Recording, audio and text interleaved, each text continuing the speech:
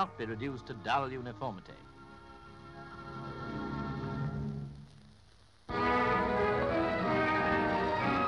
trophy given by Sporting Record for the Sportsman of the Year goes to the rider of this bicycle, world champion sprint cyclist Reg Harris.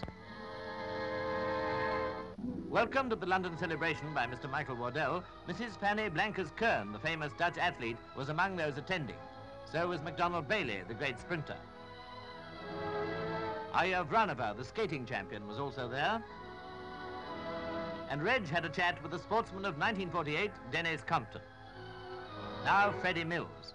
Surely he's not going to challenge Harris to a race. Mr. Aneurin Bevan was in good form, especially on the subject of records. I ought perhaps to say that it is also an occasion upon which I have established a record that uh, no one has taken the slightest notice of.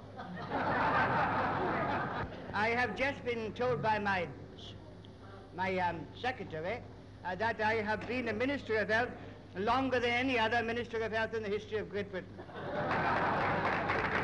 I can also assure all those who have taken part in sports that all of us now in the uh, political world know what a close finish feels like.